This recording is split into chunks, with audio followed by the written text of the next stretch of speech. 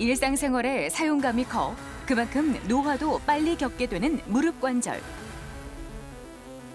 무릎 관절은 몸의 하중을 그대로 지탱하기 때문에 과사용과 노화 과정에 따른 퇴행성 관절염을 유발하기 쉽다.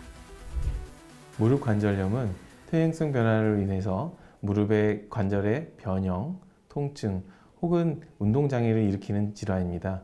최근 기대 수명이 늘어나면서 환자분들의 유병률이 급격히 늘어나고 있고 특히 젊은 층 사이에서 스포츠 손상이나 외상으로 인한 관절염 변화가 더욱 늘어나 많은 환자분들이 병원을 찾고 있습니다. 관절을 이루고 있는 모든 부위에서 발생할 수 있는 퇴행성 관절염. 주로 연골이 닳아 발생하기 때문에 노인성 질환으로 여기기 쉽지만 최근엔 스포츠 손상으로 인한 퇴행성 무릎 관절염 환자가 증가하고 있다는데 오늘 TV 주치에서는 퇴행성 무릎 관절염에 대해 자세히 알아본다. 네, 오늘 도움 말씀 위해 대전 을지대학교 정형외과 송영동 교수 나오셨습니다. 교수님 안녕하세요. 안녕하세요. 네. 예, 교수님 사실 무릎은 평생 동안 좀 관리가 필요한 부위임에도 불구하고 많은 분들이 좀 그냥 지나치시지 않나 하는 생각이 좀 듭니다. 이 무릎은 우리 몸에서 지지대 역할을 하잖아요. 이 무릎이 어떤 역할을 하는지 좀 잠깐 설명을 해주실 수 있을까요? 네, 맞습니다. 무릎은 우리 몸에서 굉장히 중요한 부위입니다. 무릎 관절은 체중을 지탱하고 움직임을 도와주기 때문에 뭐 평소에 걸을 때나 뛸 때, 앉았다가 일어날 때 등 일상생활에서 끊임없이 사용하게 되는데요. 따라서 사용량이 많아지면 그만큼 마모도 빠르게 진행되는데 그럼에도 불구하고 많은 분들이 간혹 무릎의 중요성을 간과하는 경향이 있습니다. 평소 꾸준한 관리와 적절한 운동이 매우 중요합니다. 네. 자, 그렇다면 무릎 관절은 어떻게 이루어져 있고 또 어떤 역할을 하는지도 한번 자세히 짚어보겠습니다, 교수님.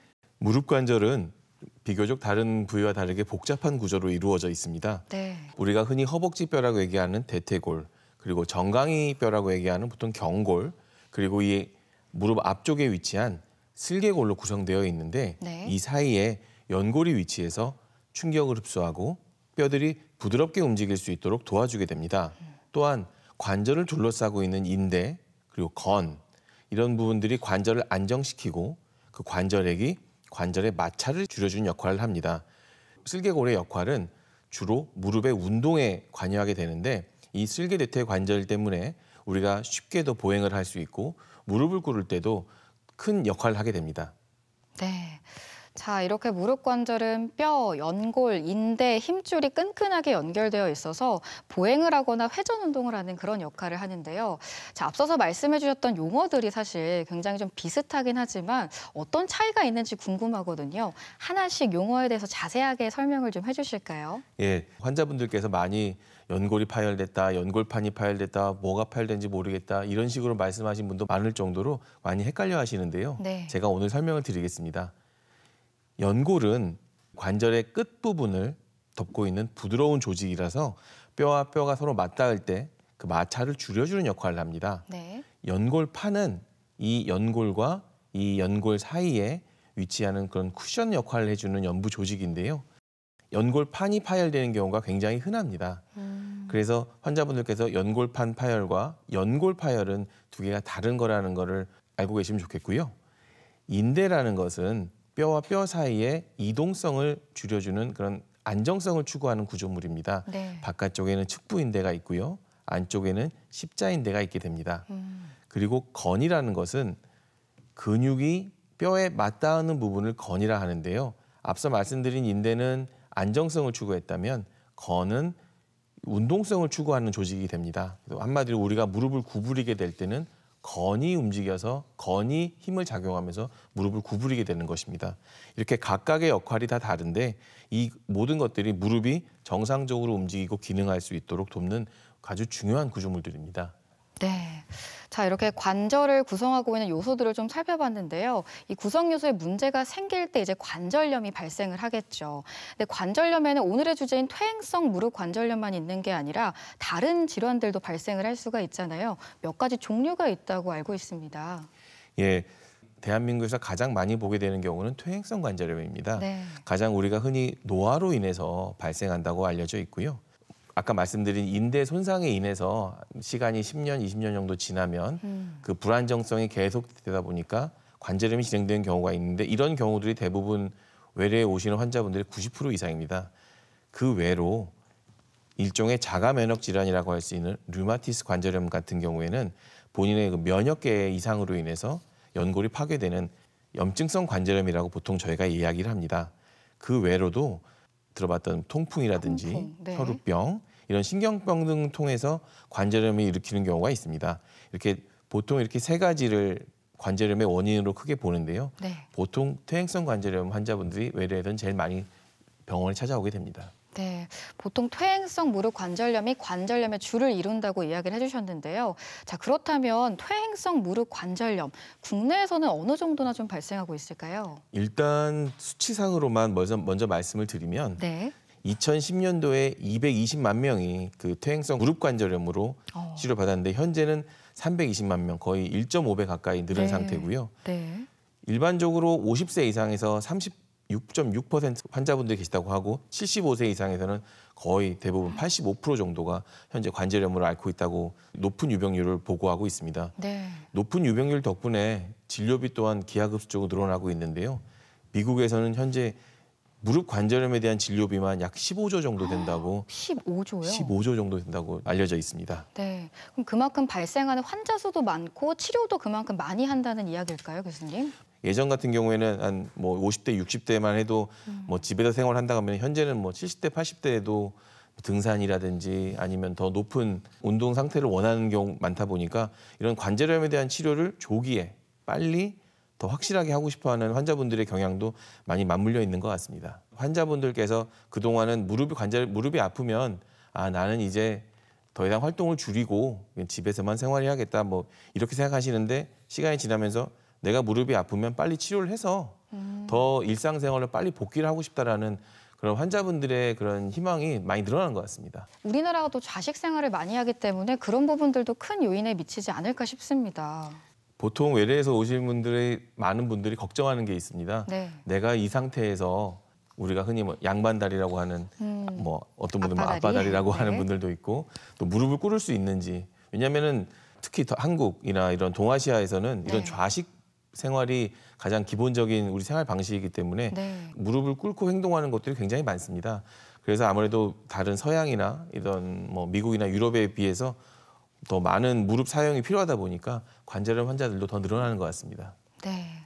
자, 그렇다면 퇴행성 무릎 관절염이 어떤 건지를 정확하게 좀 알아야 할 것 같은데요. 이 퇴행성 무릎 관절염 어떤 상태를 이야기하는 걸까요? 우선 사실 관절염이라고 말을 하- 환자분께 들으면 환자분께서 혹시 이거 염증인데 음. 약으로 치료할 수 없는가 이걸 제일 많이 물어보시는데요. 네. 사실 많은 일반적인 환자분들께서는 우리가 이제 감염됐다, 뭐 이제 뭐 아니면 또 많이 듣는 게 간염이든 이런 약간 비슷한 용어를 예 비슷한 요-. 용어 때문에 좀 헷갈려 하시는데요.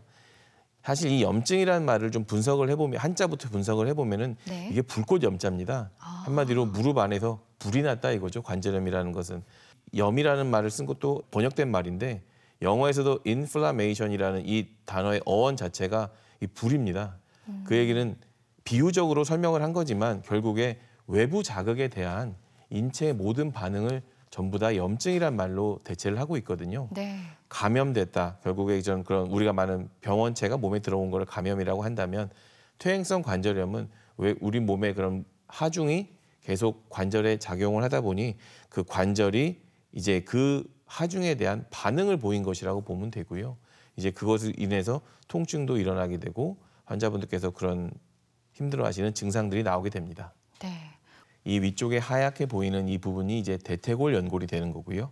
어, 허벅지 쪽에 예, 있는 맞습니다. 연골. 그리고 네. 이 밑에 있는 이 하얀 부, 하얀 연골 부분이 우리 정강이 뼈라고 얘기하는 경골 연골입니다. 네. 그리고 이 사이에 보이는 이 쿠션의 역할을 해주는 것이 연골판이 되는데요. 아까 말씀하셨던 반월 맞습니다. 그 예, 연골판. 네. 반월성 연골판입니다. 이제 퇴행성 환자분들의 경우를 보면은 네. 많이 어머. 예 퇴행성 연골은 이제 연골 자, 자체가 굉장히 네. 아까 보신 거와 확연히 다른 걸 보이실 건데요. 아까는 매끈했는데. 그렇죠. 예 많이 이제 갈라지고 음, 그 안에 찢어지고. 제 역할을 하지 못하게 됩니다. 네. 이 보시면은 연골판 자체도 색깔이 달라지고 굉장히 아까처럼 그런 하중을 지탱해 줄 수 있는 역할을 하지 못하고 이제 우리가 쉽게 얘기할 때 뭐 시장에서 그런 구- 뭐 음식을 머리에 나를 때 머리에 그 대잖아요. 네네네. 이, 역, 이 역할을 해주는 이 되는 쿠션이 이제 찢어지기 시작했다. 보통 제가 그렇게 설명을 드립니다. 그러면은 저 연골판이 계속 더 찢어지면 아예 위쪽 뼈와 뼈끼리 닿게 되겠네요. 그렇습니다. 그럼 통증도 어마어마할 것 같아요. 그것을 보통 퇴행성 관절염의 시작이라고 보시면 됩니다. 네. 자 그렇다면 퇴행성 관절염의 증상에는 어떤 것들이 있을까요, 교수님? 일단 대표적인 증상은 뭐 환자분께서 굉장히 아파하십니다. 음. 통증이라는 것이 엄청 환자분들께서 거의 참기 어려울 정도로 네. 통증한 경우가 많이 있고요. 심해지면 아까 말씀드린 것처럼 연골과 연골이 닿은 상태가 되면 관절이 움- 제대로 움직일 수가 없습니다. 어, 그런 관절과 관절 사이에 공간이 있어야 관절이 움직일 수 있는데 네. 이제 그 역할을 해주는 공간이 사라지다 보니까 네. 관절이 이제 굳어지는 운동도 굉장히 제한이 됩니다. 그 우리가 사실 운동할 때 무릎 관절 없이 운동하기가 굉장히 어렵습니다. 그렇죠. 예. 그리고 아까 말씀드린 염증이 있다 보니까 네. 무릎에 물이 찬다라고 환자분들께서 말씀을 많이 하세요. 그 물이 찬다는 게 어떤 의미일까요, 교수님? 무릎 관절은 대퇴골과 경골 그리고 슬개골로 이루어진다고 하고 있- 말씀드렸는데 그 부위가 어- 관절낭이라는 구조물로 인해서 공간이 있습니다. 음. 그 한정된 공간 안에 염증 반응으로 인해서 관절 액이 늘어나다 보니까 네. 제한된 공간에 제한된 양의 관절액이 있었다면 더 늘어난 관절액 때문에 환자분들께서 굉장히 움직임에도 어려움이 있고 물이 찬다라는 말을 말씀하시고 외래에서 봐도 무릎이 반대쪽에 비해서 확연하게 더 커 보이는 경우가 많이 있습니다. 음, 무릎 관절만 자체를 보면 아까 말씀드린 것처럼 그 인대라는 것이 무릎의 안정성에 주로 역할을 하게 되는데 그 인대가 손상되기 시작하면서 무릎이 불안정성을 갖게 됩니다. 음, 불안정성을 갖게 되면 연골과 연골이 계속 맞닿는 그런 기회가 늘어나면서 퇴행성 변화는 더 가속화되게 되고요. 네. 그러면서 무릎이 변형이 되기 시작합니다. 우리가 흔히 오다리라고 보통 얘기를 하게 되는데 네. 그럼 무릎이 내반되면서 무릎이 그냥 똑바랐던 다리가 음. 약간 무릎 부위에서 살짝 구부러지는 오다리가 되고요. 환자분들은 무릎이 잘 펴지지가 않는다. 음, 무릎을 움직이려고 할 때 자꾸 걸린다. 네. 이런 말씀들을 많이 하십니다. 네, 아무래도 이제 무릎에 가해지는 이 부하를 줄이는 게 가장 중요할 것 같은데요. 치료법에는 어떤 게 있을지 좀 살펴보겠습니다, 교수님. 말씀하신 것처럼 무릎에 가해지는 부하를 줄이는 게 가장 우선되는 치료라고 할 수 있겠습니다. 체중을 감소해서 무릎에 가해지는 부하를 줄이는 게 가장 중요하고 가장 좋은 치료 방법이지만 대다수의 환자분들이 대부분 노인 환자분들이고 노인 환자분들이 운동을 통해서 체중을 감소한다는 건 사실 쉬운 일은 너무 아닙니다. 어렵죠. 예. 네. 저는 보통 생활 방식의 변화를 권해드리게 되는데요. 좌식 문화가 익숙한 대한민국 환자분들에서는 사실 그런 무릎을 꿇는다든가 아까 말씀드린 뭐 양반 다리를 한다든가 하는 음. 그런 행동들을 피하는 것이 환자분들의 그런 퇴행성 관절염을 줄일 수 있는 좋은 방법인데 사실 이것도 환자분들에게 좀 어려운 일이 될 수 있습니다. 뭐 평소에 사용하지 않던 침대를 사용한다든가 어. 뭐 의자를 사용한다든가 평소에 바닥에서 식사하시던 분들을 테이블에서 식사를 하게 만들어야 되는데 사실 그런 평생 쌓아온 자기의 방식을 바꾸는 게 쉽지만은 않습니다. 그렇죠. 그 외로는 뭐 물리치료라든지 여기 그림에 나와 있는 것처럼 보조기를 통해서 오. 환자분들의 그런 통증을 줄일 수 있는 그 기대하게 되는데요. 많은 많은 분들께서 그런 활동량 조정과 물리치료에 적극적인 분들 같은 경우에는 수술 없이도 그런 다른 치료 없이도 굉장히 잘 적응하시고 좋아지신 분도 있습니다. 제가 처방을 해봐도 환자분께서 굉장히 강하게 내 삶에 대해서 난 수술 없이 보조기를 통해서 치료를 받겠다라고 하시는 분들 같은 경우에는 결과 좋습니다. 아 그래요. 근데 어떤 분들 같은 경우에는 사실 이 보조기를 갖고 일상생활 하는 게 쉬운 일은 아니라서요. 음. 환자분들께서 아, 언제까지 해야 되냐, 이거를 내가 뭐 잘 때도 해야 되냐 이렇게 막 치료 결과에 대해서 좀 믿지 못하신 분들 같은 경우에는 그렇게 큰 효과를 보지 못한 경우도 많이 있습니다. 네. 자, 아까도 말씀해 주셨지만 이제 운동이 정말 중요하다고 하셨거든요. 근데 무릎이 아파서 운동을 못 하겠다고 하시는 분들도 굉장히 많은데요. 그래도 적절한 운동은 좀 필요하잖아요, 교수님. 어떤 운동을 하면 좋을까요? 어, 무릎이 안 좋을 때 운동은 매우 중요합니다.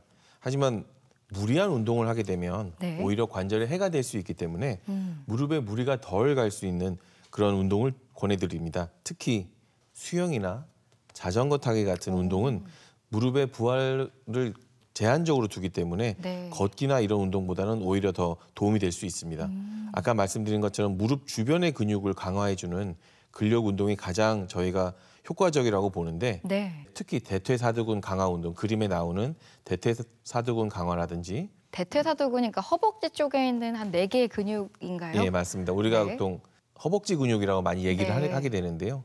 대퇴사두근이 강화될수록 무릎에 가는 부하를 관절의 부담을 덜어주기 때문에 네. 또한 충격도 완화시킬 수 있어서 저희가 통증 감소나 퇴행성 관절염 진행도 억제할 수 있는 효과를 기대할 수가 있습니다. 네. 그런 운동이 가장 추천되는 게 아까 그림에 나온 이 하지 거상 운동 네. 혹은 또이 수중 보행, 뭐 자전- 수중 보행. 어. 자전 거 타기가 가장 무릎에는 안전하게 권할 수 있는 네. 운동이라고 저희는 보고 있습니다. 그럼 운동을 할 때 이런 부분들을 좀 조심해야 합니다. 주의 사항이 있다면 어떤 게 있을까요? 사실 많은 환자분들께서 나는 통증과 아픔이 있어도 이걸 이겨내겠다라는 마음으로 운동을 하게 되는데요. 의사 의사의 관점에서 보면은 좋은 일은 아닙니다. 본인께서 그런 무리하지 않는 범위에서 시작을 해서 단계별로 그 운동을 단계를 올리는 것이 중요하지.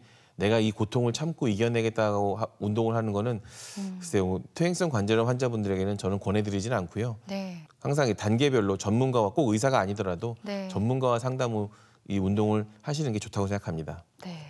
자, 지금 방송을 보시는 우리 시청자분들이 좀 궁금해하실 것 같아요. 운동이라고 하면 여러 가지가 있잖아요. 뭐 방금 걷는 운동, 수중 보행 이런 거 이야기해 주셨는데 스쿼트 같은 운동은 무릎 관절에 안 좋지 않나요, 교수님? 스쿼트는 저 제가 가장 권해드리지 않는 운동입니다.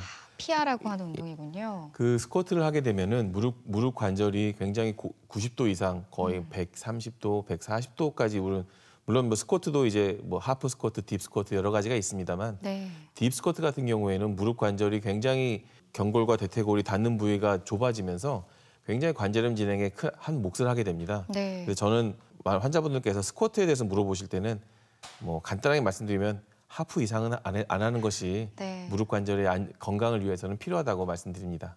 네, 이렇게 생활 방식에 변화를 주거나 보조기를 착용했는데도 효과가 없다면 이제 약물 치료나 수술이 좀 들어갈 텐데요. 먼저 약물 치료에 대해서 좀 자세히 살펴보도록 하겠습니다, 교수님. 먼저 약물 치료는 크게 두 가지로 나눠지게 됩니다. 우리가 이제 경구 투여하게 되는 진통소염제나 콘드로이친 아니면 무릎 관절에 직접 투여하게 되는 뭐 스테로이드나 히로안 제제 등이 있는데요. 먼저 경구 투여에 대한 진통소염제 말씀드리면 앞서 말씀드린 관절염이라는 것은 우리 몸의 그런 하중에 대한 그런 우리 몸의 반응이기 때문에 그 반응을 줄일 수 있는 진통소염제가 역할을 하게 됩니다. 네. 하지만 근본적인 원인이라고 할 수 있는 그 부하를 줄일 수는 없기 때문에 약의 그 관절염의 진행을 막기는 어렵고요. 통증이라든지 급성기 그런 염증 반응은 줄일 수 있습니다. 그리고 많은 분들이 좀 여쭤보시는데 네. 그런 건강 보조제라고 하는 콘드로이친에 대해서 환자분들께서 뭐 다른 환자분한테 들었는데 콘드로이친을 먹으면 좋아졌더라, 통증이 많이 줄었다더라 이런 말씀하시는데 보조제는 어느 정도 증상을 완화시킬 수는 있다고 생각을 합니다만 연고를 재생시키는 효과에 대해서는 아직 효과적으로 검증되지는 않았습니다. 네. 사실 보조제 이런 콘드로이친 같은 경우에는 뭐 일종의 보조 역할로 생각하시고 치료제가 아니라 보조제다. 예, 의사와 상의해서 약물 치료를 받는 것이 가장 중요한 것 같습니다. 관절에 보통 크게 두 가지 주사가 이- 대표적인데요. 스테로이드 주사 같은 경우에는 앞서 말씀드린 염증 반응을 가장 강하게 줄여줄 수 있는 주사입니다. 이게 단기적으로 굉장히 통증 완화에 유용하고요. 아까 염증 감소가 가장 메인 그 target이기 때문에 네. 스테로이드 주사를 맞고 증상이 좋아지는 분들이 많이 있습니다. 스테로이드 주사의 안정성이라고 해야 될까요? 이거 괜찮을까요, 교수님? 사실 스테로이드 주사는 너무 자주 맞는 경우에는 관절 파괴가 더 빠르게 진행될 수 있으니 전문의와 상의해서 한 3개월 정도의 간격을 두고 주사를 맞는 게 제일 중요하고요. 네. 또 히알루론산 주사라는 이 제제는 관절액을 보충해 주는 역할입니다. 아까 앞에 제가 아. 관절액이 네, 네. 무릎과 관절, 관절 사이의 그 마찰을 줄여줄 수 있는 음. 역할을 한다고 말씀드렸는데 네. 그 관절액을 보충해 주는 거죠. 그래서 어. 윤활 작용을 하게 됩니다. 그럼 히알루론산 주사는 뭐 인체 해롭고 뭐 그런 건 아닌가요? 현재로서는? 예, 안정성이 많이 확보된 제재라서 저희가 보통 많은 무릎 환자분들한테 이 두 가지 주사를 같이 놔드리게 됩니다. 자, 대전 MBC 건강 플러스 오늘은 퇴행성 무릎 관절염에 대해 살펴보고 있습니다. 이번에는 병원에 직접 찾아가 환자들을 만나보고 진단 방법과 치료법에 대해 살펴보겠습니다. 화면으로 만나보시죠. 일상에서 많이 사용하는 부위 무릎. 무릎은 위험에 쉽게 노출될 수 있는 구조로 관절염이 발생하기 쉽다. 특히 퇴행성 관절염은 대표적인 노인성 질환으로 꼽히지만 노화가 원인이라기보다는 무릎 관절을 많이 쓸수록 이차적 변화가 일어날 수 있어 인식의 전환이 필요한 질환이기도 하다.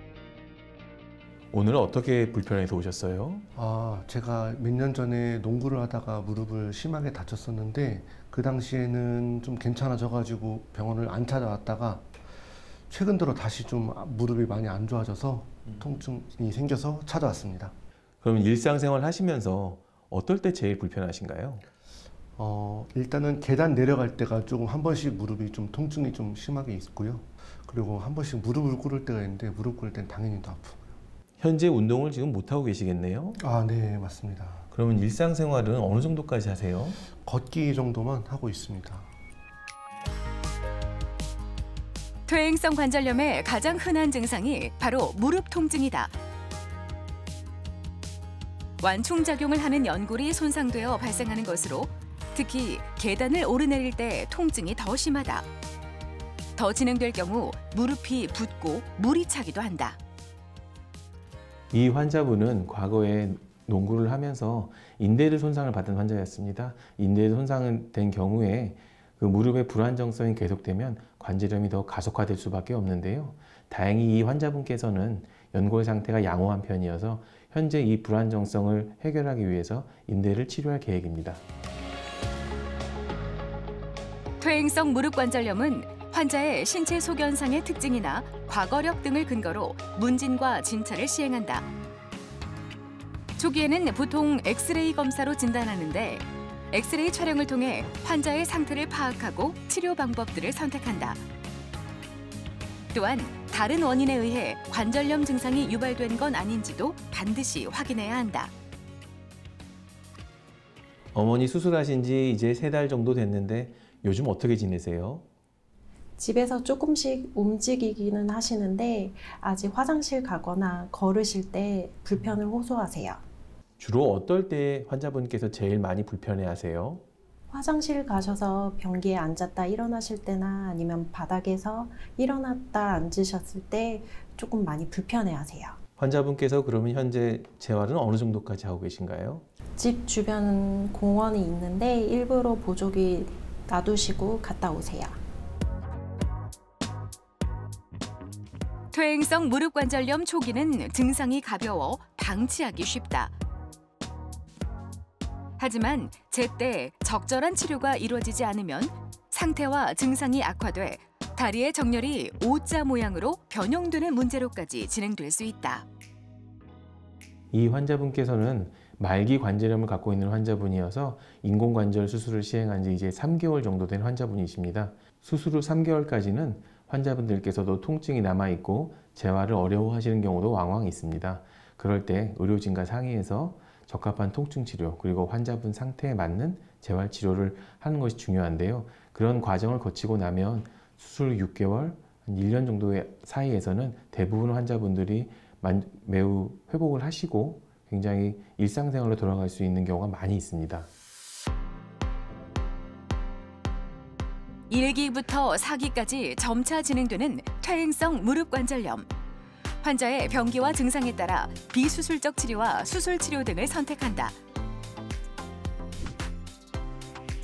손상된 연골을 완전히 재생시키는 방법이 없다 보니 증상을 완화시키는 치료법을 우선적으로 시행하고 환자의 사회적, 경제적 상황 등을 고려해 적절한 치료법을 선택한다. 무릎 관절염을 갖고 있는 환자분들이 치료를 받지 못하고 방치될 경우에는 환자분들의 증상이 더해지면서 변형이라든지 통증이 더 심해지고 일상생활이 어려워지는 경우가 많습니다. 추후에는 수술도 굉장히 더 큰 수술로 발전할 수가 있습니다. 그래서 이런 환자분들은 조기에 병원에 오셔서 적합한 치료를 받는 것이 매우 중요합니다. 퇴행성 무릎 관절염은 치료와 함께 무릎 건강에 좋지 않은 습관들을 교정해 나가는 것이 중요하다. 생활 습관의 변화와 또 적절한 몸무게 유지, 그리고 규칙적인 운동이 효과적인 치료를 이끌 수 있다. 한 번 손상된 연골은 자연 회복되지 않는 법. 현명한 관리가 건강한 무릎의 시작이다. 병원을 찾아가서 환자들을 만나보고 퇴행성 무릎 관절염에 대해 살펴봤습니다. 자, 지금부터는 치료법에 대해서 하나씩 살펴볼 텐데요. 수술법 종류에도 정말 여러 가지가 있죠, 교수님. 예, 그렇습니다. 무릎 관절염을 치료하는 수술법은 환자 상태에 따라서 다양하게 존재합니다. 대표적으로 이제 관절경 수술, 또 부분 인공관절 치환술, 네. 그리고 전 인공관절 치환술, 그리고 특히 또 아시아인들한테 좀 적합한 절골술이 있는데요. 특히 관절경 수술은 비교적 초기 단계 음. 손상에 적용되게 되는데 네. 손상된 연골을 정리한다든가 음. 파열된 연골판을 봉합을 한다든가 이런 과정을 통해서 관절염 진행- 진행을 예방하게 되고요. 네. 절골술 같은 경우에는 아까 말씀드린 그런 변형된 무릎 관절을 개선을 해서 하중 부하를 조금 더 분산시키는. 이분하게 음. 더, 주- 더 분산시키는 역할을 할 수 있고요. 또 부분 치 환술이나 전 치 환술은 연- 파열된 연골을 전부 다 드러내고 새로운 연골 역할을 하는 그런 새로운 인공관절을 집어넣게 됩니다. 보통 부분 치 환술은 국한된 범위의 연골 파괴가 있을 때 사용하게 되고요. 전반적인 심- 손상이 있을 때는 전 치 환술을 하게 됩니다. 네. 교수님이 환자들에게 가장 많이 듣는 소리가 아닐까 싶습니다. 교수님 어떤 수술이 가장 좋아요? 라고 물어보실 것 같은데요.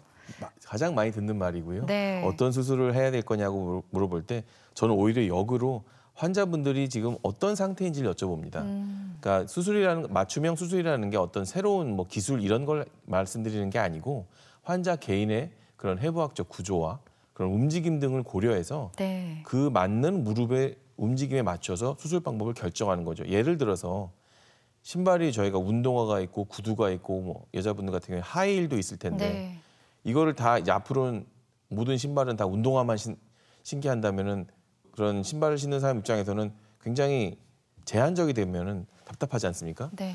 그러니까 저는 말씀드리는 게 다양한 관절에 대해서 적합한 다양한 치료법을 의사가 고민, 의사가 권해드려야 한다는 게 제 신념입니다. 네. 자, 그러면 선- 선생님이 맞춤형 수술을 한다고 하셨는데요. 어떤 경우인지 사진을 보면서 좀 예시를 들어주실까요? 예, 저희 외래에서 왔던 환자분이신데요. 네. 양쪽에 보- 그 보시면은 이 이쪽이 오른쪽 무릎 관절이 되고 음. 왼쪽 무릎 관절이 되어 있습니다. 오. 이좀 더 자세히 살펴보면 네. 오른쪽 같은 경우에는 아까 말씀- 말씀드린 오다리 변형이 더 많이 진행이 됐고요. 네. 뼈와 그 대퇴골과 경골이 맞닿은 거, 맞닿았다는 얘기는 그 사이에 존재하는 연골이나 연골판이 이미 다 파괴가 됐다는 얘기지요. 저 정도면 한몇 기예요, 선생님? 보통 저희가 말기 사기로 말기로 사기. 보게 됩니다. 네.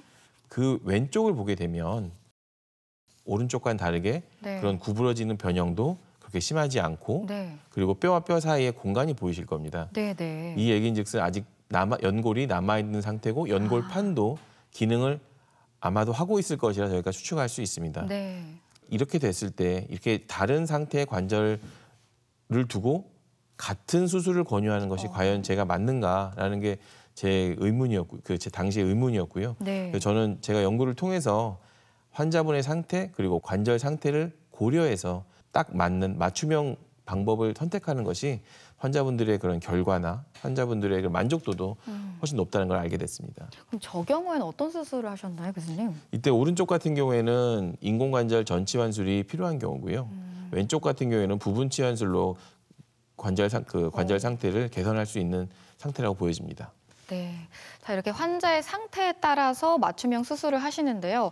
한국인 맞춤형 수술도 있을 것 같아요, 교수님. 일단 그 그림을 보시면은 네. 이 절골술이라는 것이 먼저 설명을 드리려고 하는데요. 네. 한국인의 생활 양식은 대부분 그 서양과 다른데 한국인은 주로 집 안에서 생활하게 되고 집 안에서 생활하게 되면 필연적으로 이제 바닥을 중심으로 집 안 바닥을 중심으로 생활하게 됩니다. 우리도 한국 그래도 동아시아 사람들은 집에 올 때 신발을 벗지 않습니까? 네. 바닥을 사용해야 되기 때문에 하지만 서양은 그렇지 않거든요. 네. 서양은 바닥을 사용하지 않기 때문에 굳이 신발을 벗고 들어갈 필요가 없습니다. 그럼 우리는 굳이 소파가 있어도 소파에 예, 앉지 소- 않고 맞습니다. 소파에 기대서 예. 방바닥에 앉잖아요. 그런 무릎을 많이 구부리는 활동이 특히 동아시아, 특히 한국인들에게도 많은데요. 네. 앞서 말씀드린 전치환술의 가장 좀 단점이라 할 수 있는데 전치환술 과정에서 많은 속 안의 인대들을 제거하게 됩니다. 그 인대들을 제거하는 과정에서 무릎을 다시 구부리지 못하는 경우가 종종 있는데요. 이런 절골술 같은 경우에는 그런 인대나 건을 그런 손상시키지 않기 때문에 다시 무, 무릎을 구부리는 활동이 가능하게 됩니다. 이런 분들에게는 절골술이 오히려 효과적이라 할 수 있겠습니다. 저희가 이 빨간 선으로 표시된 이 방향이 네. 저희가 몸에서 체중이 그 하중이 가해지는 방향이라고 음. 보통 여겨지게 되는데요. 네. 이 왼쪽 사진을 보시면 이 체중의 부하가 조금 더 내측 연골에 어. 많이 치중된 거를 보실 수 있으실 겁니다. 네. 근데 저희가 수술을 통해서 절골술을 하게 되면 이 다리 아, 오다리가 조금 더 변형이 되면서 이렇게 체중 부하가 좀 더더 이분하게 양쪽에 더 무릎 관절 전반적으로 음. 분포가 되기 때문에 그런 관절염 진행도 막을 수 있고 환자분 증상도 대부분 많이 좋아지십니다. 네, 이렇게 관절경 그리고 절골술에 대해 살펴봤는데요. 지금부터는 인공관절 치환술에 대해 자세히 살펴보겠습니다. 예, 먼저 인공관절 치환술은 한마디로 말씀드리면 새로운 무릎의 탄생이라고 할 수 있겠습니다. 어. 손상된 무릎 관절을 인공 구조물로 대체해서 통증을 줄이고 기능을 회복하고 운동 상태를 예전처럼 돌리는 게 목표인데요. 네. 다만 인공관절이 모든 문제를 완벽하게 해결하는 것이 아니기 때문에 적절한 시기에 적절한 결정을 내는 것이 중요합니다. 앞서 말씀드린 것처럼 각인각색이라는 말이 있는데요. 네. 그러니까 다양한 사람들이 있으면 그 다양한 사람들도 다양한 관절 상태를 갖기 때문에 다양한 상태를 만나게 되는데 보통 환자분들께서 아뭐 관절 갈아 끼우는 게 뭐 자동차 부품 뭐 엔진 오일 갈듯이 이렇게 말씀하시는 분들이 있는데 사실 그 규격화된 자동차 부품 갈아 끼우는 게 과연 끼우고 나서도 우리가 새로운 무릎이라고 할 수 있는지는 환자분들께서 아 나는 무릎 수술하고 나서 무릎만 꿇을 수 있으면 됩니다. 어떤 분들은 아 난 수술하고 나서 걸을 수만 있으면 됩니다. 각자 원하는 상태가 많이 다르신데요. 네. 그거를 감안하고 수술 방법을 고려하는 것이 가장 중요한 것 같습니다. 기존에는 수술 방식이 최근과 좀 많이 다르다고 들었습니다. 예전에는 어떻게 좀 시행을 했을까요? 제가 뭐 우스갯소리로 말씀을 드리는데 예전에는 이제 군대에서 많이 쓰는 말인데 네. 군화에 발을 맞춘다고 보통 어머. 저희가 얘기를 하게 되는데 네. 인공관절도 마찬가지로 각각의 상태를 전부 다 하나의 그런 상태의 모양에 맞춰서 인공관절을 했다고 할 수 있습니다. 이 그림은 그 그리스 신화에 나오는 그 프로크루테스 제가 좋아하는 그림인데요. 네. 그 프로크루테스가 여관에서 손님이 오면 손님을 눕혀서 침대에서 발이 넘어가면 발을 잘라서 침대에 맞춰서 발을 잘랐다는 말이 있듯이 네. 사실 그동안의 인공관절도 각 다양한 환자들을 한 가지 방법으로 시행했다는 거는 어떻게 보면 프로크루테스와 크게 다르지 않지 않았나라는 네. 생각을 하게 됩니다. 그렇다면 인공관절 치환술은 어떤 환자들에게 많이 좀 추천이 될까요, 교수님?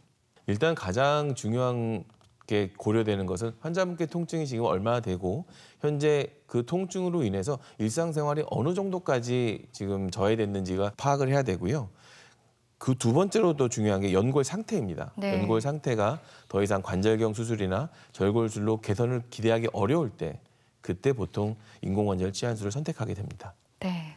자, 그렇다면 이제 국내에서 인공관절 치환술 수술을 받으시는 환자는 어느 정도나 될까요, 교수님? 2010년도 1년에 한 4만 8천 명 정도 수술을 음. 받으셨습니다. 네. 네, 올- 작년 2023년 이제 7만 2천 명으로 지속적으로 숫자가 늘고 있고요. 좀 대중화도 되고 예전보다 좀 슬관절 치환술에 대한 수술 수기도 많이 향상된 게 원인이 아닐까 싶습니다. 네. 자, 그러면 교수님께서 이제 수술을 하고 나서 환자분과 처음 딱 대면을 하셨을 때 어떤 이야기를 가장 많이 들으실까 그게 궁금하거든요. 보통 이제 수술 끝나고 보통 제가 한 달에서 한 달 반 정도 후에 환자분들을 뵙게 되는데요. 네. 그 당시에 웃으면서 오시는 분들은 그렇게 많지는 않습니다. 어, 왜요? 대부분 그때까지는 이제 무릎 관절 수술 끝나고 나서 네. 회복하는 단계이기 때문에 오히려 수술 전보다 아프다고 하면 더 간혹 있습니다. 근데 제가 이제 말씀드리는 건 우리가 거쳐야 되는 과정이고 환자분들께서 이 과정을 거치고 나서 수술로 손상된 부분들이 회복이 되면 지금보다 좋아질 거라는 미- 말씀을 드리는데요. 네. 의사가 먼저 수술은 잘 됐다고 얘기를 하지만 환자분은 아 난 그래도 수술 받기 어. 전보다 편하지 않다라고 불만을 토로하시는 분들이 계신데 좀 저희가 좀 소통을 더 많이 해서 좀 이런 과정이라는 것이 피할 수 없는 과정이고 네. 이 과정을 거치면 환자분께 더 좋아진다는 확신을 주는 것이 중요한 것 같습니다.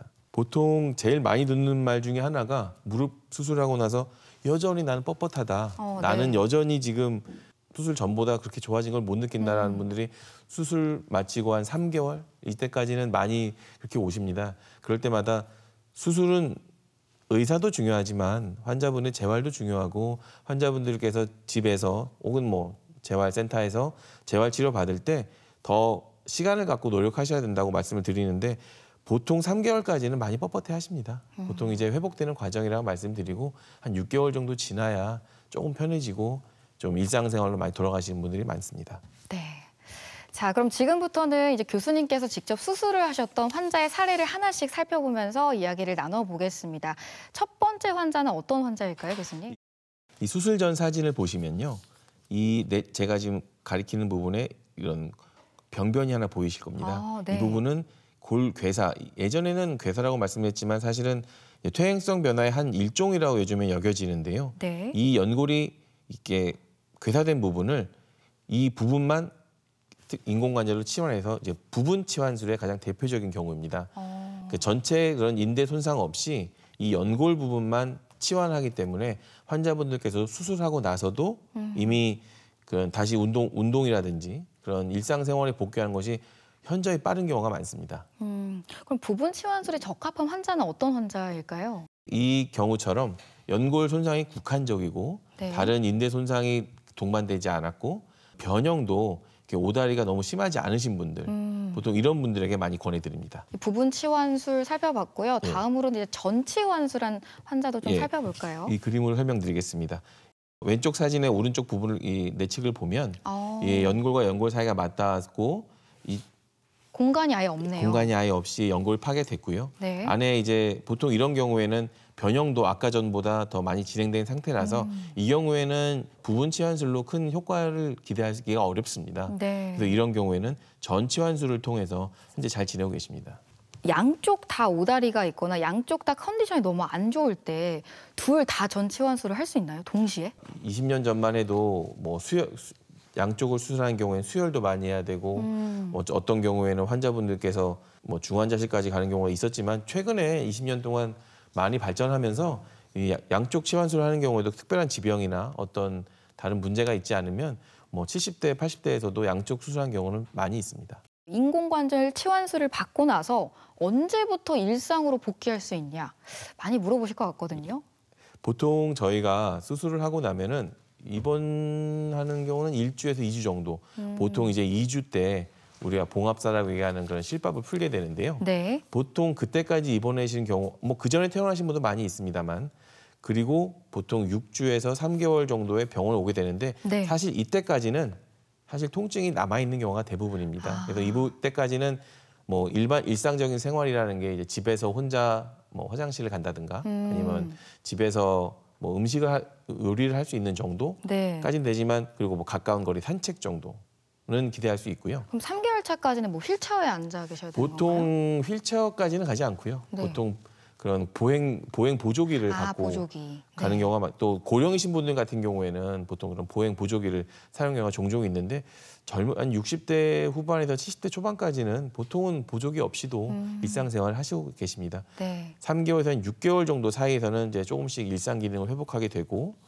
한 6개월 정도 지나기 시작하면은 뭐 예전보다 수술 전보다 더 상태가 개선되는 경우가 많은데 물론 이 모든 것들이 다 일률적으로 말할 수는 없고요. 환자분 개인의 상태를 많이 감안해서 과정을 네. 이 시기를 결정해야 됩니다. 네. 재활 관리를 할 때 이런 부분들은 좀 신경을 써야 합니다 하는 부분들이 있다면 어떤 게 있을까요?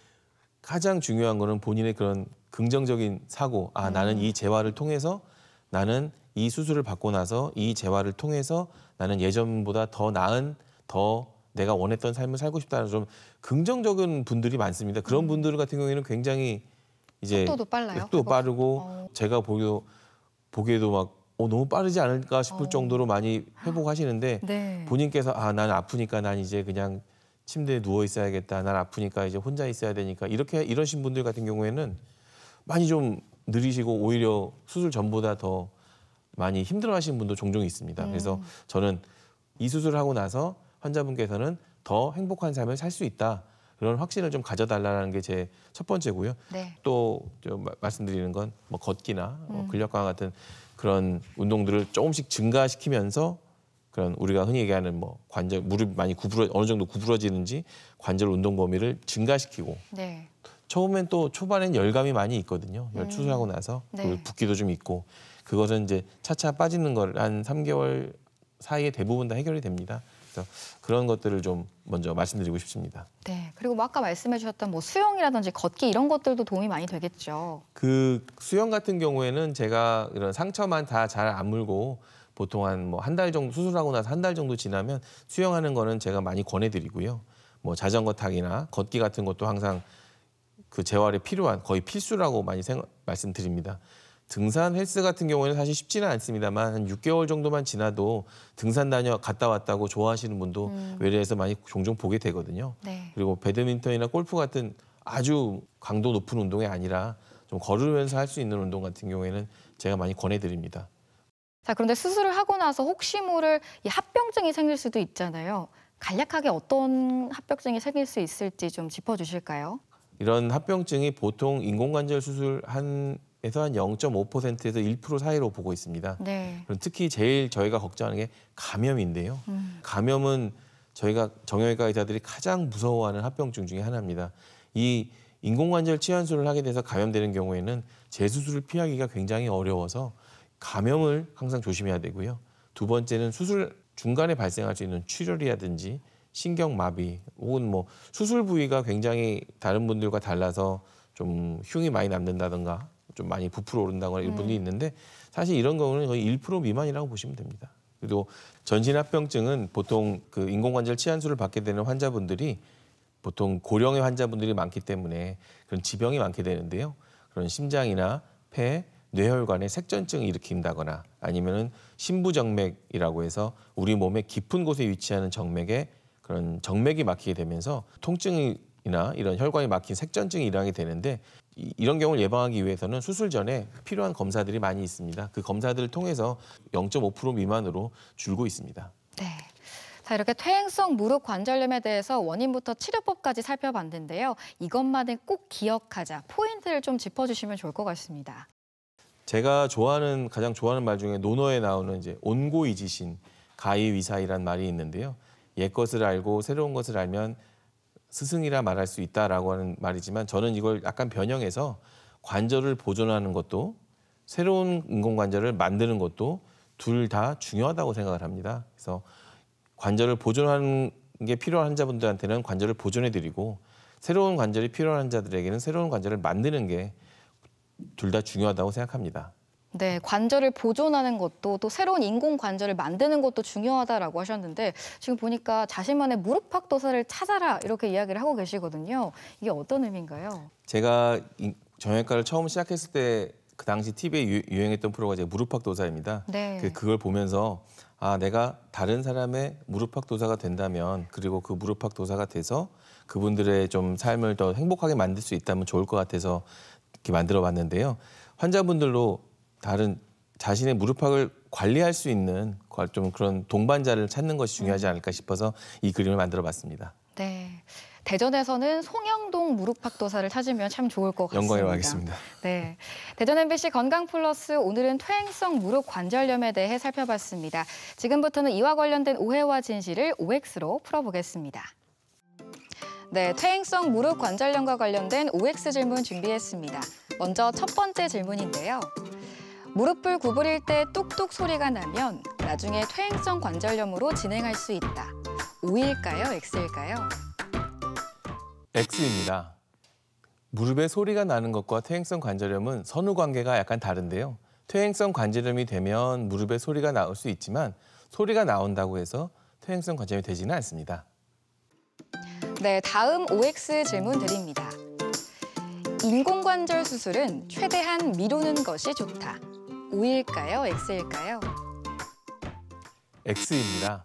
인공관절 수술이 처음 시도됐던 90년대 초반이나 2000년 초반까지는 저 말이 맞았습니다만 이제 기술이 많이 발전하면서 최대한 미루지 않아도 환자분들께 최대한 좋은 결과를 만들 수 있습니다.